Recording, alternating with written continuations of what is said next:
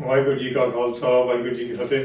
ਅੱਜ ਅਸੀਂ ਲਤੀਫਪੁਰਾ ਜਲੰਧਰੋਂ ਗੱਲਬਾਤ ਕਰ ਰਹੇ ਹਾਂ, ਜਿੱਥੇ ਪਈ ਪਿਛਲੇ ਮਹੀਨੇ ਜਲੰਧਰ ਮਿਊਨਿਸਪਲ ਕਾਰਪੋਰੇਸ਼ਨ ਨੇ 37 ਘਰ ਗਰੀਬਾਂ ਦੇ ਢਾਹ ਦਿੱਤੇ ਆ। ਜਿਹੜਾ ਵੀ ਇਲਾਕਾ ਉਹਨਾਂ ਨੂੰ ਉਸ ਵੇਲੇ 1947 ਚ ਮਿਲਿਆ ਸੀਗਾ, ਜਦੋਂ ਉਹ ਪਾਕਿਸਤਾਨ ਤੋਂ ਉਜੜ ਕੇ ਆਏ ਸੀਗੇ। ਤੇ ਹੁਣ ਦੂਜੀ ਵਾਰੀ ਪੰਜਾਬ ਸਰਕਾਰ ਤੇ ਜਲੰਧਰ ਕਾਰਪੋਰੇਸ਼ਨ ਵੱਲੋਂ, ਜਿਹੜੇ ਪਈ ਮਿਊਨਿਸਪਲ ਕਾਰਪੋਰੇਸ਼ਨ ਵੱਲੋਂ ਦੂਜੀ ਵਾਰੀ ਉਜਾੜਿਆ ਗਿਆ ਪਰਿਵਾਰਾਂ ਨੂੰ। ਇਹ ਕਿੰਨਾ ਬੇਇਨਸਾਫੀ ਕਿੰਨੀ ਵੱਡੀ ਹੋਈ ਆ। ਤੁਸੀਂ ਉਹਨਾਂ ਦੀ ਗੱਲਬਾਤ ਸੁਣੋ ਤੇ ਤੁਸੀਂ ਦੇਖੋ ਇਸ ਵੇਲੇ ਕਿੱਦਾਂ ਰਹਿ ਰਹੇ ਸਰਦੀਆਂ ਵਿੱਚ। ਵਾਹਿਗੁਰੂ ਜੀ ਕਾ ਖਾਲਸਾ ਵਾਹਿਗੁਰੂ ਜੀ ਕੀ ਫਤਿਹ।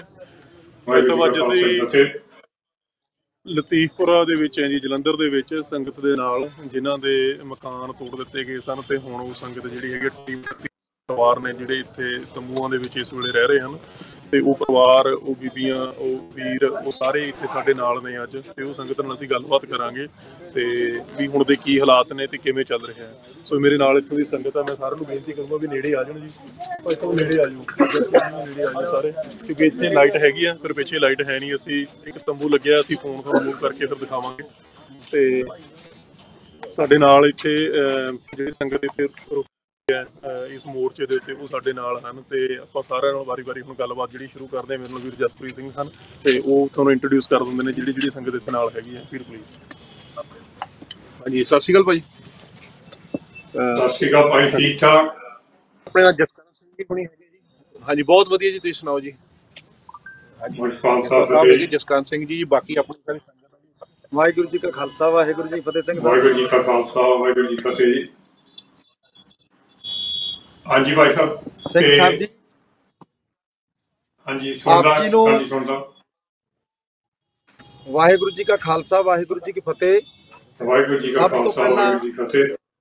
ਭਾਈ ਰਵੀ ਸਿੰਘ ਜੀ ਖਾਲਸਾ ਅਸੀਂ ਤੁਹਾਨੂੰ ਭਾਵੇਂ ਦੁੱਖ ਚ ਹੈ ਭਾਵੇਂ ਸਾਡੇ ਪਰਿਵਾਰ ਸੜਕਾਂ ਤੇ ਬੈਠੇ ਆ ਘਰੋਂ ਬਾਹਰ ਆ ਬੀਬੀਆਂ ਘਰੋਂ ਬਾਹਰ ਆ ਬੱਚੇ ਘਰੋਂ ਬਾਹਰ ਆ ਤੇ ਸਾਰੇ ਪਰਿਵਾਰ ਬੜੀ ਚਿੰਤਾ ਚ ਹੈ। ਇਹ ਚਿੰਤਾ ਚ ਹੋਣ ਦੇ ਬਾਵਜੂਦ ਵੀ ਅਸੀਂ ਤੁਹਾਡਾ ਕਿਹੜੇ ਸ਼ਬਦਾਂ ਦੇ ਨਾਲ ਸ਼ੁਕਰੀਆ ਕਰੀਏ, ਧੰਨਵਾਦ ਕਰੀਏ ਕਿ ਤੁਸੀਂ ਜਿੱਥੇ ਖਾਲਸਾ ਏਡ ਵੱਲੋਂ ਇਹਨਾਂ ਦੀ ਸੇਵਾ ਕਰ ਰਹੇ ਹੋ, ਉੱਥੇ ਸਾਡੀ ਕੌਮ ਦੀ ਬਹੁਤ ਵੱਡੀ ਰੱਖਿਆ ਹੈ। ਕੌਮ ਦੀ ਪੱਗ ਤੁਸੀਂ ਪੂਰੇ ਵਰਲਡ ਦੇ ਵਿੱਚ ਐਂ ਚੱਕਤੀ ਹੈ ਕਿ ਆਉਣ ਵਾਲੀਆਂ ਪੀੜ੍ਹੀਆਂ ਤੇ ਨਸਲਾਂ ਉਹਨੂੰ ਯਾਦ ਕਰਨਗੀਆਂ।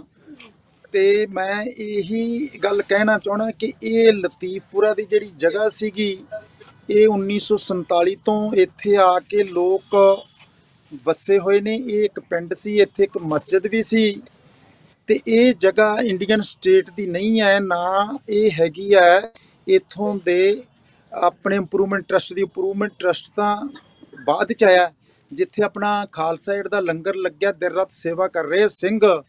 ਇਹ ਜਗ੍ਹਾ 3567 68 69 ਤੇ 70 ਮੈਨ ਇਹ ਦੋ ਕਿੱਲੇ ਤੇ ਜਿਹੜੀ ਜਗ੍ਹਾ ਸੀ 8 ਮਰਲੇ ਪਹਿਲਾਂ ਰਿਕੁਆਇਰ ਹੋ ਚੁੱਕੀ ਹੈ ਕਬਜ਼ਾ ਇਹਦੇ ਕੋਲੇ ਆ। ਇਸ ਤੋਂ ਬਾਅਦ ਜਿਹੜੀ ਇਹ ਜਗ੍ਹਾ ਸੀਗੀ, ਇਹ ਜਗ੍ਹਾ ਇਹਨਾਂ ਲੋਕਾਂ ਦੀ ਹੈ 1947 ਤੋਂ ਆ ਕੇ ਵੱਛੇ ਸੀ। ਇਹ ਜਗ੍ਹਾ 13 ਅਗਸਤ 1947 ਚ ਇਹ ਜਗ੍ਹਾ ਇੰਡੀਅਨ ਸਟੇਟ ਦੀ ਨਹੀਂ ਸੀ, ਇਹ ਜਗ੍ਹਾ ਹੈਗੀ ਸੀ ਅੰਗਰੇਜ਼ ਰਾਜ ਦੀ। ਇਸ ਕਰਕੇ ਅੰਗਰੇਜ਼ ਰਾਜ ਤੋਂ ਇਹ ਸਿੱਧੇ ਆ ਕੇ ਇੱਥੇ ਬੈਠ ਗਏ ਹੈ ਤੇ ਇਹਨਾਂ ਦੀ ਡਿਊਟੀ ਵੀ ਬਣਦੀ ਸੀ, ਇਹ ਘਰ-ਬਾਰ ਪਾਕਿਸਤਾਨ ਤੋਂ ਛੱਡ ਕੇ ਆਏ ਸਾਲਕੋਟ ਤੋਂ। ਇਹਨਾਂ ਦੀ ਡਿਊਟੀ ਬਣਦੀ ਸੀ ਕਿ ਇਹਨਾਂ ਨੂੰ ਇਹ ਜਗ੍ਹਾ ਦੇਣੀ ਚਾਹੀਦੀ ਸੀ। ਇਹ ਦੱਸਣ ਫਿਰ ਇਹ ਜਗ੍ਹਾ ਦਿੱਤੀ ਕਿ ਇਹਨਾਂ ਨੂੰ, ਇਸ ਕਰਕੇ ਇਹ ਬਿਲਕੁਲ ਕਹਿ ਰਿਹਾ, ਇੰਡੀਆ ਦਾ ਕਨਸਟੀਟਿਊਸ਼ਨ ਵੀ ਹੈ, ਉਹ 26 ਜਨਵਰੀ 1950 ਚ 3 ਸਾਲ ਬਾਅਦ ਚ ਲਾਗੂ ਹੋਇਆ ਜਦੋਂ ਕਿ ਇਹ ਲੋਕ ਇੱਥੇ ਪਹਿਲਾਂ ਆ ਕੇ ਬੈਠੇ ਆ ਤੇ ਦੂਸਰੇ ਪਾਸੇ ਇਹ 30 ਸਾਲ ਤੋਂ ਬੈਠੇ ਆ 30 ਸਾਲ ਤੋਂ ਸਿੰਘ ਸਾਹਿਬ ਇਹਨਾਂ ਦਾ ਹੱਕ ਬਣ ਜਾਂਦਾ ਮੰਨ ਲਓ ਮੈਂ ਇੱਕ ਕਿੱਲਾ ਤੁਹਾਨੂੰ ਵੇਚਦਾ ਜਾਂ ਤੁਸੀਂ ਮੈਨੂੰ ਦੇ ਦਿੰਦੇ ਹੋ ਇੱਕ ਕਿੱਲਾ ਜੇ ਮੈਂ 12 ਸਾਲ ਉਹਦਾ ਕਬਜ਼ਾ ਹੀ ਨਹੀਂ ਲੈਂਦਾ ਇੰਤਕਾਲ ਨਹੀਂ ਕਰਾਉਂਦਾ ਫੇਰ ਵੀ ਮੈਥੋਂ ਕਬਜ਼ਾ ਨਹੀਂ ਛਡਾ ਸਕਦੇ। ਤੇ ਜੇ ਰਿਕੁਆਇਰ ਵੀ ਕਰਨੀ ਹੋਵੇ ਨਾ ਤਾਂ ਖੂਹ ਰਿਕੁਆਇਰ ਹੁੰਦਾ ਨਾ ਘਰ ਰਿਕੁਆਇਰ ਹੁੰਦਾ ਨਾ ਜੰਗਲ ਰਿਕੁਆਇਰ ਹੁੰਦਾ ਹੈ, ਤੇ ਨਾ ਹੀ ਇੱਥੋਂ ਦਾ ਜਿਹੜਾ ਕੋਈ ਜਾਨਵਰ ਰਿਕੁਆਇਰ ਹੁੰਦੇ ਆ ਤੇ ਇਹ ਰਿਕੁਆਇਰ ਵੈਸੇ ਹੋ ਹੀ ਨਹੀਂ ਸੀ ਸਕਦਾ। ਤੇ ਇਸ ਕਰਕੇ ਇਹ ਕਹਿ ਦਿੰਦੇ ਆ ਕਿ ਸੁਪਰੀਮ ਕੋਰਟ ਦਾ ਆਰਡਰ ਹਾਈ ਕੋਰਟ ਦਾ ਆਰਡਰ ਲੋਕਾਂ ਤੋਂ ਵੱਡਾ ਭਾਈ ਸਾਹਿਬ ਹਾਈ ਕੋਰਟ ਦਾ ਆਰਡਰ ਨਹੀਂ ਹੈ। ਰਾਜਵਾਨਾ ਸਾਹਿਬ ਨੂੰ ਫਾਂਸੀ ਦੀ ਸਜ਼ਾ ਸੁਣਾਤੀ ਹੈ ਇਹਨਾਂ ਨੇ। ਉਸ ਤੋਂ ਬਾਅਦ ਦਵਿੰਦਰਪਾਲ ਭੁੱਲਰ ਨੂੰ ਫਾਂਸੀ ਦੀ ਸਜ਼ਾ ਸੁਣਾਤੀ। ਲੋਅਰ ਕੋਰਟ ਕਹਿੰਦੀ ਹੈ ਫਾਂਸੀ ਹਾਈ ਕੋਰਟ ਕਹਿੰਦੀ ਹੈ ਫਾਂਸੀ ਸੁਪਰੀਮ ਕੋਰਟ ਕਹਿੰਦੀ ਹੈ ਫਾਸੀ ਰਿਵਿਊ ਪਟੀਸ਼ਨ ਕਹਿੰਦੀ ਹੈ ਫਾਸੀ ਪ੍ਰੈਜ਼ੀਡੈਂਟ ਕਹਿੰਦਾ ਫਾਸੀ ਰਿਵਿਊ ਪਟੀਸ਼ਨ ਕਹਿੰਦੀ ਹੈ ਫਾਸੀ ਤੇ ਕਹਿੰਦੇ 30 ਤਰੀਕ ਨੂੰ ਟੰਗ ਦੇਣਾ ਤੈਨੂੰ। ਤੇ ਸਾਡੇ ਜਥੇਦਾਰ ਵੀ ਕਹਿੰਦੇ ਤੈਨੂੰ ਫਾਸੀ ਮੈਂ ਆ ਜਾਊਂਗਾ ਤੇ ਤੁਹਾਨੂੰ ਅਹ, ਚੋਲਾ ਦਵਾਇਆ ਆਊਂਗਾ। ਤੇ ਫਿਰ ਅਸੀਂ ਪੰਥਕ ਜਥੇਬੰਦੀਆਂ ਨੇ ਮਾਨ ਸਾਹਿਬ ਤੇ ਅਸੀਂ ਸਾਰਿਆਂ ਨੇ ਰਲ ਕੇ ਕਹਿਤਾ ਕਿ ਅਸੀਂ ਫਾਸੀ ਤੋਂ ਡਰਦੇ ਨਹੀਂ ਤੇ ਅਸੀਂ 3 ਮਾਰਚ ਕਰਾਂਗੇ ਇੱਕ ਅਕਾਲ ਤਖਤ ਸਾਹਿਬ ਤੋਂ ਕਰਾਂਗੇ ਇੱਕ ਅਸੀਂ ਕਰਾਂਗੇ ਦਮਦਮਾ ਸਾਹਿਬ ਤੋਂ ਉੱਥੇ ਸਾਨੂੰ ਫੜ ਲਿਆ ਮਾਨ ਸਾਹਿਬ ਤੇ ਸਾਰਿਆਂ ਨੂੰ ਉੱਥੇ ਤੇ ਇੱਕ ਕਰਾਂਗੇ ਅਨੰਦਪੁਰ ਸਾਹਿਬ ਤੋਂ। ਤੜਕੇ ਨੂੰ ਫਾਸੀ ਰੱਦ ਹੋ ਗਈ ਹੈ। ਇਸ ਕਹਿੰਦੀ ਹੈ ਸੁਪਰੀਮ ਕੋਰਟ ਨੂੰ ਕੱਢ ਦਿਓ। ਤੇ ਫਿਰ ਜਿਹੜੇ ਸਿੰਘ ਗੜੇ ਹੋਏ ਆ ਫਿਰ ਸੁਪਰੀਮ ਕੋਰਟ ਉਹ ਕੱਢ ਨਹੀਂ ਸਕੀ। ਇਸ ਕਰਕੇ ਇਹ ਜਗ੍ਹਾ ਇਹਨਾਂ ਦੀ ਸੀਗੀ, ਅਸੀਂ ਲੜਾਈ ਲੜ ਰਹੇ ਆ ਤੇ ਡੀਸੀ ਨਾਲ ਤਿੰਨ ਮੀਟਿੰਗਾਂ ਹੋ ਗਈਆਂ ਐਮਐਲਏ ਨਾਲ ਵੀ ਮੀਟਿੰਗਾਂ ਹੋ ਗਈਆਂ। ਤੇ ਅਸੀਂ ਆਖਿਆ ਪ੍ਰੂਫ ਤਾਂ ਦਿਓ ਸਾਨੂੰ ਵੀ ਦੱਸੋ ਵੀ ਜਿਹੜੀ ਰਿਕੁਆਇਰ ਤੁਸੀਂ ਕੀਤੀ ਹੈ, ਕਿਹਦੇ ਤੋਂ ਜ਼ਮੀਨ ਰਿਕੁਆਇਰ ਕੀਤੀ ਹੈ, ਕਿਵੇਂ ਰਿਕੁਆਇਰ ਕੀਤੀ ਹੈ, ਕਿਹਦੇ ਚ ਪੈਸੇ ਪਾਏ ਰਿਕਾਰਡ ਤਾਂ ਦੇ ਦਿਓ ਭਾਈ ਸਾਹਿਬ ਜੀ ਇਹ ਕੁਝ ਨਹੀਂ ਦੇ ਸਕੇ। ਇਸ ਕਰਕੇ ਅਸੀਂ ਲਗਾਤਾਰ 35 ਦਿਨ ਤੋਂ ਡਟੇ ਹੋਏ ਆ ਤੁਹਾਡੀ ਕਿਰਪਾ, ਜਦੋਂ ਤੁਸੀਂ ਸਾਡੇ ਨਾਲ ਖੜੇ ਹੋ, ਤੇ ਫਿਰ ਸਾਨੂੰ ਕੋਈ ਫਿਕਰ ਨਹੀਂ ਹੈਗਾ। ਤੇ ਅਸੀਂ ਲੜਾਈ ਲੜਾਂਗੇ ਤੇ ਮਕਾਨ ਇੱਥੇ ਹੀ ਬਣਾਵਾਂਗੇ। ਤੁਸੀਂ ਵੀ ਸਾਡੀ ਆਵਾਜ਼, ਜਿਵੇਂ ਕੌਮ ਦੀ ਠਾ ਰਹੇ ਹੋ, ਇਹ ਵੀ ਪੂਰੀ ਕੌਮਾਂਤਰੀ ਪੱਧਰ ਤੇ ਠਾਓ ਯੂਐਨਓ ਚ ਇਹਦੀ ਗੱਲ ਕਰੋ ਅਮਨੈਸਟੀ ਇੰਟਰਨੈਸ਼ਨਲ ਚ ਕਰੋ ਏਸ਼ੀਆ ਵਾਸਟ ਚ ਕਰੋ। ਤੇ ਇਹ ਸਾਰਿਆਂ ਦੇ ਵਿੱਚ ਸਾਡੀ ਗੱਲ ਕਰਕੇ ਇਹਨੂੰ ਹੋਰ ਉੱਚਾ ਕਰੋ, ਕਿਉਂਕਿ ਤੁਹਾਡੀ ਗੱਲ ਪੂਰਾ ਸੰਸਾਰ ਸੁਣਦਾ ਬੱਚਾ ਬੱਚਾ ਸੁਣਦਾ। ਹੈ ਤੇ ਇੱਕੋ ਹੀ ਤੁਸੀਂ ਸਾਡੀ ਕੌਮ ਦਾ ਮਾਣ ਰਹਿ ਗਏ ਸਰਕਾਰਾਂ ਤਾਂ ਗਈਆਂ ਕਿੱਧਰੇ?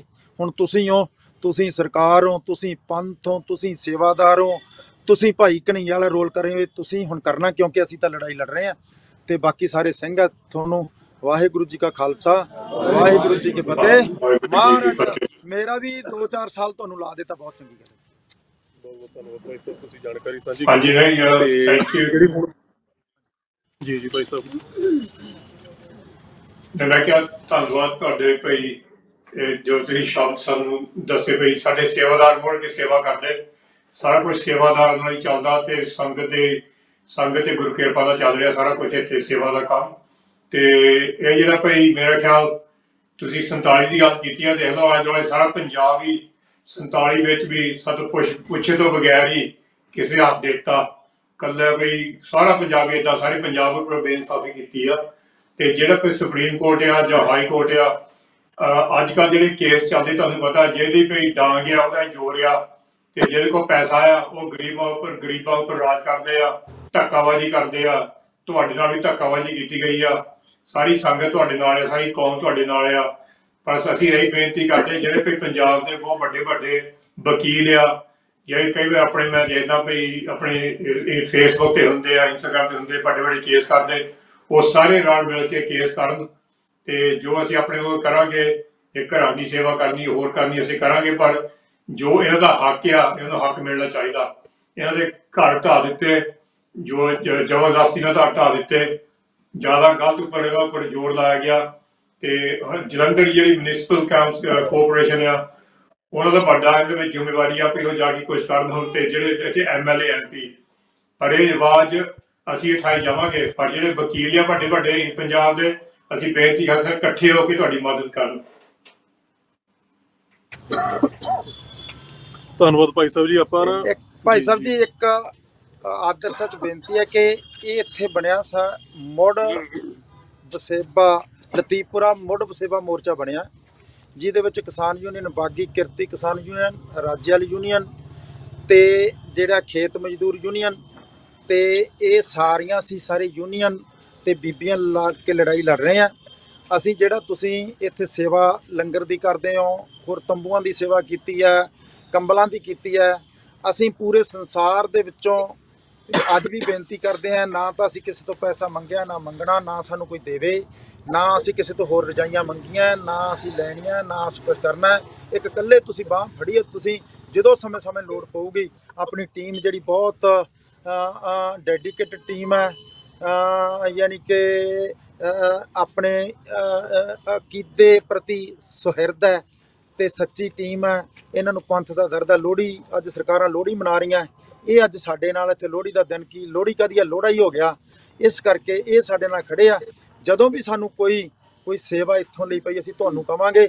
ਹੋਰ ਸੰਸਾਰ 'ਚ ਨਾ ਅਸੀਂ ਕਿਸੇ ਤੋਂ ਲਈ ਹੈ ਨਾ ਲੈਣੀ ਹੈ ਨਾ ਹੀ ਅਸੀਂ ਆਸ ਰੱਖਦੇ ਨਾ ਹੀ ਸਾਨੂੰ ਕੋਈ ਦੇਵੇ। ਬੜੀ ਪਾਰਦਰਸ਼ੀ ਢੰਗ ਦੇ ਨਾਲ ਅਸੀਂ ਸਾਰੇ ਚੱਲ ਰਹੇ ਹਾਂ। ਵਾਹਿਗੁਰੂ ਜੀ ਕਾ ਖਾਲਸਾ ਵਾਹਿਗੁਰੂ ਜੀ ਕੀ ਫਤਿਹ। ਖਾਲਸਾ ਵਾਹਿਗੁਰੂ ਜੀ ਕੀ ਫਤਿਹ। ਆਪਾਂ ਨਾ ਜਿਹੜੀ ਜਿਵੇਂ ਭਾਈ ਜਸਕਰਨ ਸਿੰਘ ਜੀ ਹੋਰਾਂ ਨੇ ਹੁਣੇ ਜਾਣਕਾਰੀ ਜਿਹੜੀ ਸਾਂਝੀ ਕਰੀ ਹੈ ਜਿਹੜੀ ਸੰਗਤ ਜਿਹੜੇ ਇੱਥੋਂ ਦੇ ਵਸਨੀਕ ਨੇ ਨਾ ਆਪਾਂ ਉਹਨਾਂ ਨਾਲ ਵੀ ਗੱਲਬਾਤ ਕਰਦੇ ਹਾਂ ਜੀ। ਤੇ ਉਹ ਹੁਣ ਕਿਉਂਕਿ ਕਾਫੀ ਦਿਨ ਹੋ ਗਏ ਆ ਹਨਾ ਕਿ ਬੈਠੇ ਨੇ। ਤੇ ਉਹਨਾਂ ਨਾਲ ਜਿਹੜੀ ਗੱਲਬਾਤ ਆਪਾਂ ਕੰਟੀਨਿਊ ਕਰਦੇ ਹਾਂ ਜੀ। ਹਾਂਜੀ ਵਾਹਿਗੁਰੂ ਜੀ। ਕਾ ਖਾਲਸਾ ਵਾਹਿਗੁਰੂ ਜੀ ਕੀ ਫਤਿਹ ਜੀ। ਵਾਹਿਗੁਰੂ ਜੀ ਕਾ ਖਾਲਸਾ ਵਾਹਿਗੁਰੂ ਜੀ ਕੀ ਫਤਿਹ ਜੀ। ਤੁਹਾਡਾ ਬਹੁਤ ਬਹੁਤ ਧੰਨਵਾਦ ਜੀ ਤੁਸੀਂ ਸਾਡੀ ਇੱਜ਼ਤ ਰੱਖੀ ਹੈ ਜੀ ਕਿਉਂਕਿ ਸਾਡੀਆਂ ਧੀਆਂ ਭੈਣਾਂ ਸਾਰੀਆਂ ਸੜਕਾਂ ਤੇ ਆ ਗਈਆਂ ਸੀ ਜੇ ਤੁਸੀਂ ਸਾਡੀ ਸਪੋਰਟ ਨਾ ਕਰਦੇ ਤੇ ਅੱਜ ਇਹ ਹਾਲਾਤ ਇਦਾਂ ਦੇ ਵੀ ਕਿ ਆਪਾਂ ਰਹਿਣਾ ਵੀ ਸਾਡਾ ਔਖਾ ਹੋ ਚੁੱਕਿਆ ਸੀ। ਹਾਂਜੀ ਨਹੀਂ ਉਹ ਜਿਹੜੇ ਇੰਡੀਆ ਦੀ ਟੀਮ ਸਾਡੀ ਜਿਹੜੇ ਸੇਵਾਦਾਰ ਆ ਉਹਨੇ ਬਹੁਤ ਡਟ ਕੇ ਇੱਥੇ ਸੇਵਾ ਕੀਤੀ।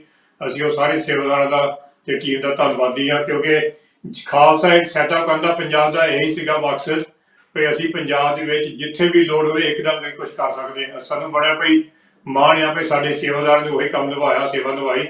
ਅਸੀਂ ਤੁਹਾਡੇ ਨਾਲ ਇਦਾਂ ਖੜੇ ਆ, ਸਾਨੂੰ ਵੀ ਚੰਗਾ ਲੱਗਦਾ ਵੀ ਠੰਡ 'ਚ ਆ, ਤੁਸੀਂ ਇੰਨੀ ਜੇ ਸਰਦੀ ਆ ਤੇ ਮੀਂਹ ਪੈਂਦਾ ਬਾਰਿਸ਼ ਪੈਂਦੀ ਆ, ਤੁਸੀਂ ਬਾਹਰ ਬੈਠੇ ਆਪਣੇ ਘਰੋਂ। ਸਾਰਿਆਂ ਨੂੰ ਦੁੱਖ ਹੈਗਾ, ਪਰ ਅਸੀਂ ਇਹ ਕਹਿੰਦੇ ਜਿਹੜੇ ਸਾਡੇ ਸਰਕਾਰੀ ਬੰਦੇ ਆ, ਉਹਨੂੰ ਥੋੜਾ ਦੁੱਖ ਹੋਣਾ ਚਾਹੀਦਾ। ਉਹ ਤਾਂ ਆਪਣੇ ਘਰ ਮਹਿਲਾਂ 'ਚ ਬੈਠੇ, ਜੀਪਾਂ ਲੱਗੀਆਂ ਗਾਨਾਂ ਲੱਗੇ ਹੋ ਉਹਨੂੰ ਮੇਰੇ ਖਿਆਲ ਕੋਈ ਫਿਕਰ ਨਹੀਂ ਲੱਗਦਾ। ਉਹ ਫੋਟੋ ਖਿਚਾਉਣ ਆ ਜਾਂਦੇ ਫੋਟੋ ਖਿਚਾ ਚੱਲ ਜਾਂਦੇ। ਪਰ ਕੁਝ ਕਰਨਾ ਪੈਣਾ ਜ਼ਰੂਰ। ਸਾਨੂੰ ਸਾਰਿਆਂ ਨੂੰ ਇੱਥੇ ਪ੍ਰੈਸ਼ਰ ਇਹਦਾ ਜਿਹੜਾ ਵੀ ਆਵਾਜ਼ ਜਿਹੜੀ ਬੁਲੰਦ ਰੱਖਣੀ ਪੈਣੀ ਆ ਨਹੀਂ ਤਾਂ ਇਹ ਇਹ ਜੋ ਮਰਜ਼ੀ ਮਨਮਰਜ਼ੀ ਕਰ ਸਕਦੇ ਮੁੜ ਕੇ ਫਿਰ।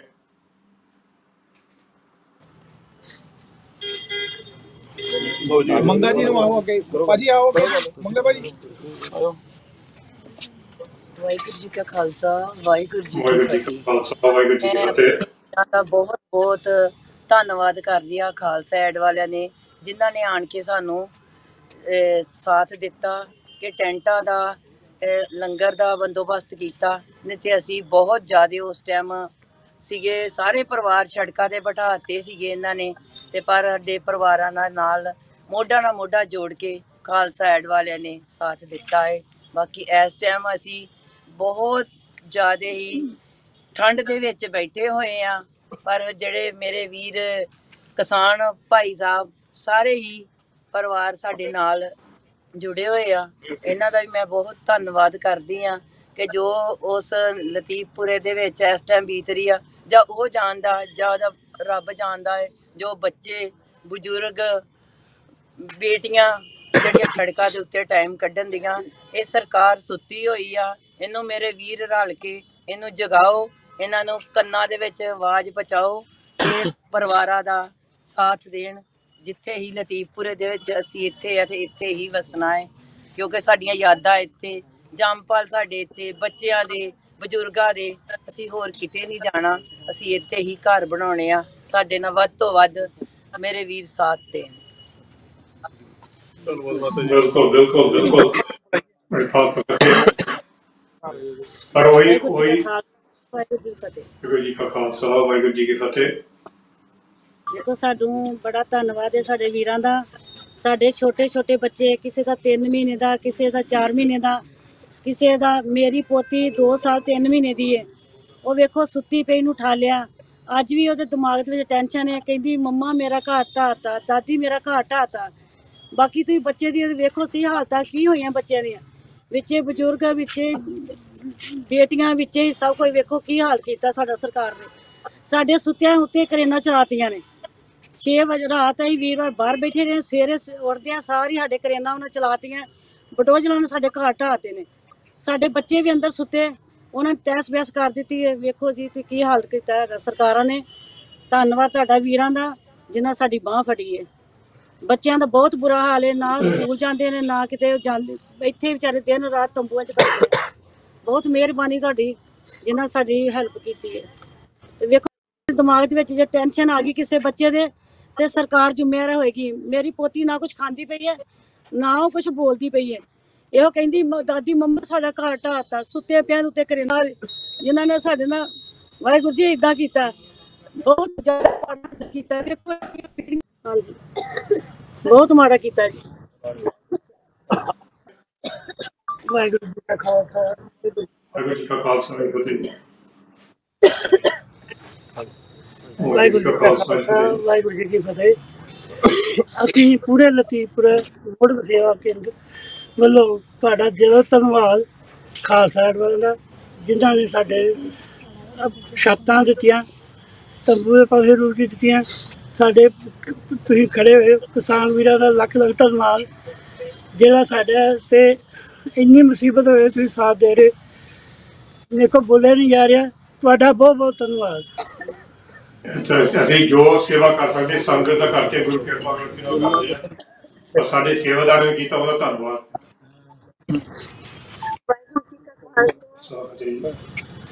ਵਾਹਿਗੁਰੂ ਜੀ ਕਾ ਖਾਲਸਾ ਕਾ ਵਾਹਿਗੁਰੂ ਕੀ ਜੀ ਕੀ ਫਤਿਹ। ਅਸੀਂ ਤੁਹਾਡਾ ਬਹੁਤ ਬਹੁਤ ਖਾਲਸਾ ਵਾਲਿਆਂ ਦਾ ਧੰਨਵਾਦ ਕਰਦੇ ਹਾਂ, ਜਿਨ੍ਹਾਂ ਨੇ ਸਾਡੇ ਵੀਰਾਂ ਨੇ ਬਾਹ ਫੜੀ ਹੈ, ਸਾਡੇ ਸਾਡੇ ਬਜ਼ੁਰਗ, ਸਾਡੇ ਬੱਚੇ, ਮੈਂ ਖੁਦ ਆਪਣੀ ਬੇਟੀ, ਜਵਾਨ ਬੇਟੀ ਲੈ ਕੇ ਰੋਡ ਤੇ ਬੈਠੇ ਆ ਅਸੀਂ ਸਾਰੇ ਬਿਮਾਰ ਵੀ ਮੈਂ ਖੁਦ ਵੀ ਬਿਮਾਰ, ਕਿੰਨੇ ਦਿਨ ਅਸੀਂ ਬਿਮਾਰ ਰਹੇ ਹਾਂ, ਇੰਨੀ ਠੰਡ ਹੈ ਨਾ, ਬਹੁਤ ਜ਼ਿਆਦਾ ਠੰਡ ਹੈ, ਬਜ਼ੁਰਗ ਵੀ ਬਜ਼ੁਰਗ ਵੀ ਬਿਮਾਰ ਹੈ, ਇਹਨਾਂ ਦੇ ਜਿੱਦਾਂ ਪੁਲਿਸ ਵਾਲਿਆਂ ਨੇ ਧੱਕਾਸ਼ਾਹੀ ਬਹੁਤ ਜ਼ਿਆਦਾ ਕੀਤੀ, ਕਈ ਬਜ਼ੁਰਗਾਂ ਦੇ ਸੱਟਾਂ ਵੀ ਲੱਗੀਆਂ, ਉਹਨਾਂ ਨੇ ਕੁਝ ਨਹੀਂ ਦੇਖਿਆ ਵੀ ਕਿ ਇਹ ਲੇਡੀਜ਼ ਹੈ ਜਾਂ ਜੈਂਟਸ ਹੈ ਕਿ ਇਹਨਾਂ ਨੂੰ ਕਿੱਦਾਂ ਫੜਨਾ, ਧੱਕੇ ਮਾਰ ਮਾਰ ਕੇ ਇਹਨਾਂ ਸੁੱਟਿਆ, ਜਿਹੜੇ ਮੇਨ ਬੰਦੇ ਉਹਨਾਂ ਨੂੰ ਚੱਕ ਕੇ ਥਾਣੇ ਲੈ ਗਏ ਸੀਗੇ। ਸਾਡੇ ਨਾਲ ਬਹੁਤ ਜ਼ਿਆਦਾ ਗਲਤ ਹੋਇਆ, ਬਹੁਤ ਜ਼ਿਆਦਾ ਹੀ ਸਾਡੇ।